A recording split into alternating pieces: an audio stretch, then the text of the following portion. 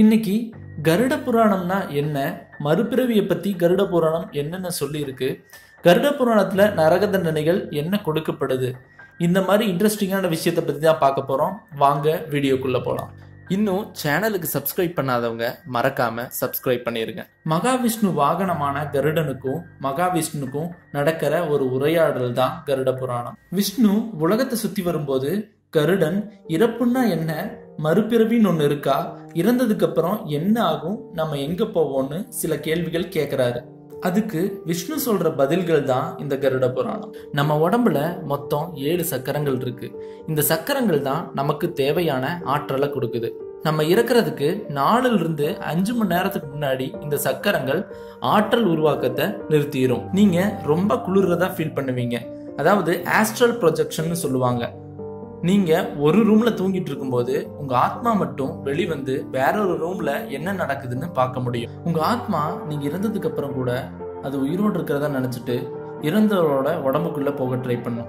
இதைத்தான் சம்டைம்ஸ் சில பேர் இறந்தது பிறகும் கூட அவங்க கை கால் செய்கிறத பார்க்கலாம். ஆத்மானால சுற்றி இருக்கிற எல்லாத்தையும் பார்க்க முடியும் உணர முடியும். ஆத்மா அது இறந்ததை புரிஞ்சுக்கிறதுக்கு கொஞ்சம் டைம் ஆகும். இறந்தவரோட ஆத்மா அவரோட இறுதி சடங்கப்போ ஒரு பன்னிரெண்டு அடி மேலே நின்று பார்த்துக்கிட்டு இருக்கோம் அப்படின்னு கருட புராணம் சொல்லுது. அதனால தான் நம்ம முன்னோர்கள் என்ன சொல்லியிருக்காங்கன்னா நம்ம நல்ல காரியத்துக்கு போலினாலும் கெட்ட காரியத்துக்கு போகணும். ஏன்னா அவங்களோட ஆசீர்வாதம் அப்பதான் கிடைக்கும்னு. இறந்ததுக்கு அப்புறம் ஏழு நாளைக்கு பிடிச்ச இடத்துக்கோ இல்ல பிடிச்சவங்கள பாக்குறக்கோ போகும் எக்ஸாம்பிள் ஏதாச்சும் பிடிச்ச பொருள் இருந்துச்சுன்னா அந்த பொருள் பக்கத்தையே உட்காந்துருக்கும் இல்ல அதுக்கு குழந்தைகள் ரொம்ப பிடிக்கும்னா அவங்க குழந்தைகள் பக்கத்திலேயே உட்காந்து ஏழு நாள் டைம் ஸ்பெண்ட் பண்ணும் ஏழு நாள்ன்றது பன்னிரெண்டு நாளைக்குள்ள ஒரு சுரங்கப்பாதை வழியா நம்ம உலகத்திலிருந்து ஆவிகள் உலகத்துக்கு ஆத்மா பயணிக்கும். அந்த சுரங்கப்பாதையோட கடைசியில ரொம்ப வெளிச்சமா இருக்கும். அதுதான் ஆவி உலகத்தோட நுழைவாயில். பன்னிரெண்டு நாட்களுக்கு பிறகும் சில ஆத்மாக்கள் உலகத்திலேயே தான் இருக்கும். ஏன்னா அதுக்கு நிறைவேறாத ஆசைகள் சிலது இருக்கலாம். அதனால அதை நிறைவேற்றிக்கிறதுக்காக ஆவிகள் உலகத்துக்கு போகாம இந்த உலகத்திலேயே அது வாழ்ந்துட்டு இருக்கும் இந்த மாதிரி ஆத்மாக்களை தான் நம்ம ஆவி பேய்னு சொல்லிட்டு இருக்கோம் ஆத்மா ஆவிகள் உலகத்துல நுழைஞ்ச உடனே முன்னோர்கள்னால வரவேற்கப்படுவாங்க. முன்னோர்கள்னால வரவேற்கப்பட்டு கர்ம வினைகளை விசாரிக்கிற ஒரு கோர்ட்டுக்கு அங்க இருக்கிற கைட்ஸ் கூட்டிட்டு போவாங்க.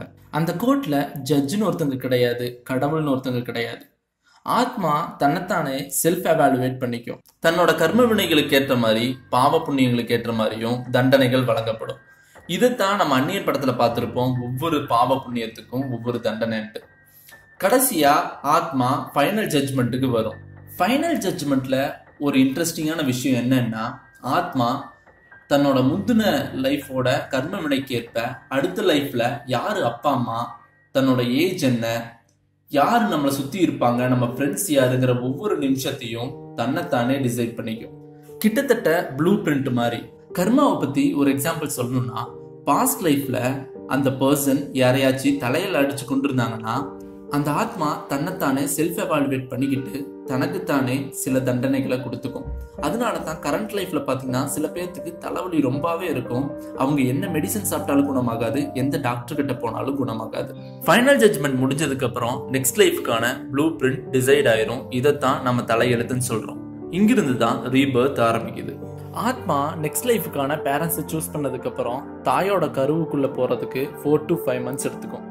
சம்டைம் லாஸ்ட் மூமெண்ட்லேயும் கூட தாயோட கருவுக்குள்ளே போய் சேர்ந்துடும் என்னதான் ஹாரஸ்கோப்பில் நம்ம பிறக்கிற இடம் நேரம் எல்லாத்தையும் சொல்லியிருந்தாலும் எல்லாமே ஃபைனல் ஜட்ஜ்மெண்ட்டில் சொல்லியிருந்த அக்ரிமெண்ட்டோட ரிஃப்ளெக்ஷன் தான்.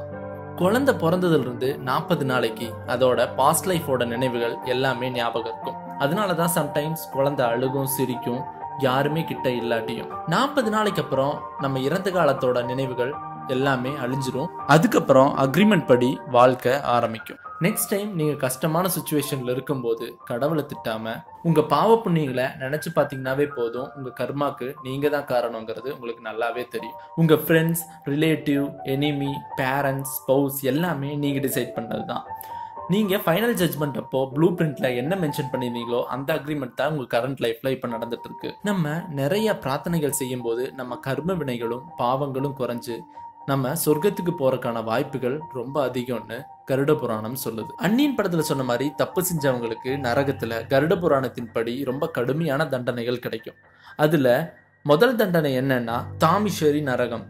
மற்றவங்களுக்கு சொந்தமான பொருளை திருடுறவங்களுக்கும் மாற்றான் மனைவிக்கு ஆசைப்படுறவங்களுக்கும் கிடைக்கிற தண்டனை தான் தாமேஸ்வரி நரகம். இதுக்கான தண்டனை முள்ளாலான கட்டையினாலையும் கதத்தினாலையும் அடிப்பாங்க. அனிதா மிஸ்ரா நரகம். இதோட குற்றம் என்னன்னா கணவனும் மனைவியும் சேர்ந்து வாழாம ஒருவரை இன்னொருத்தங்க ஏமாத்திட்டு இருந்தாங்கன்னா இந்த தண்டனை கொடுக்கப்படும். இதுக்கான தண்டனை என்னன்னா கண்ணை தோண்டிட்டு இருட்டான இடத்துல விட்டுட்டு போயிடுவாங்க. ரவுரவ நரகம். அடுத்தவங்க குடும்பத்துக்கு கேடு நினைக்கிறது இல்லைன்னா அவங்க பொருளை திருட நினைக்கிறது குற்றத்துக்காக இந்த தண்டனை வழங்கப்படுது. தண்டனை என்னன்னா சூலாயத்தை வச்சு குத்தி துன்புறுத்துவாங்க. கும்பி பாகம். குற்றம் என்னன்னா சுவையான உணவுக்காக வாயில்லா ஜீவன்களை கொல்றது. தண்டனை என்னன்னா எரியற அடுப்புல எண்ணெய் கொப்பரையில போட்டு வதப்பாங்க. காலக்குத்திரம் குற்றம் என்னன்னா பெரியோர்களையும் பெற்றோர்களையும் அடித்து அவமானப்படுத்துவதும் பட்டினி போடுறதும். தண்டனை என்னன்னா அதே முறைப்படி அடி உதை பட்டினி என்று வதைக்கப்படுவார்கள். அசிபத்திரம். குற்றம் என்னன்னா தர்ம நெறிகளை மீறி கெட்ட வழியில நிறைய பாவம் செய்யறது. இதுக்கு தண்டனை என்னன்னா பூதங்கள்னால துன்புறுத்தப்பட்டு இனம் புரியாத ஒரு பயத்தோட அவதிப்பட வைக்கிறது. பன்றி முகம் குற்றம் என்னன்னா குற்றமற்றவர்களை தண்டிக்கிறதும் நீதிக்கு புறம்பாக அநீதிக்கு துணை போறதும். தண்டனை என்னன்னா பன்றி முகத்தில் இருக்கிற ஒரு கூர்மையான பல்லு இருக்கிற மிருகத்துக்கிட்ட கடி வாங்கி அந்த வழியை உணர்றது. அந்த கூபம். குற்றம் என்னன்னா உயிர்களை சித்திரவதை செய்யறதும் கொடுமையா கொலை செய்யறதும். தண்டனை என்னன்னா கொடூரமான மிருகத்தினால கடிச்சு குதறப்படுவாங்க. விசித்திரமான மாடுகள் அவங்கள மிதிச்சுட்டு போகும். வைத்தரணி குற்றம் என்னன்னா நல்வழியில செல்லாம தர்மத்துக்கு புறம்பா போறது. தண்டனை என்னன்னா வைத்தரணிங்கிற ரத்தமும் சீலும் சிறுநீரும் மலமும் கொடிய பிராணிகளும் இருக்கிற ஒரு நதியில பாவிகள் விளைவிச்சு துன்புறுத்துவாங்க. பூ போதல் குற்றம் என்னன்னா ஒழுக்கமா இல்லாம எந்த லட்சியமும் இல்லாம வாழ்றது. தண்டனை என்னன்னா விஷமுடைய பூச்சிகள்னால கடிக்கப்படுவாங்க. விசேஷனம். குற்றம் என்னன்னா பசுக்களை கொடுமைப்படுத்துறது. தண்டனை என்னன்னா ஏமாறக்கர்கள் சவுக்கடி கொடுத்து துன்புறுத்துவாங்க. லாலாபஷம். குற்றம் என்னன்னா மனைவிய கொடுமைப்படுத்துறது. தண்டனை என்னன்னா அதே முறைப்படி அவங்களும் கொடுமைப்படுத்தப்படுவாங்க. மேலும் இந்த மாதிரி வீடியோக்களை பார்க்க மறக்காம சேனலுக்கு சப்ஸ்கிரைப் பண்ணுங்க. உங்க ஃப்ரெண்ட்ஸுக்கு ஷேர் பண்ணுங்க. வீடியோவை லைக் பண்ணுங்க. உங்களுக்கு ஏதாச்சும் டவுட் இருந்துச்சுன்னா கமெண்ட்ல லீவ் பண்ணுங்க. உங்க சஜஷன்ஸையும் கமெண்ட்ல லீவ் பண்ணுங்க. see you next video until then bye நான் உங்க மிஸ்டர் எஸ்எம்எஸ்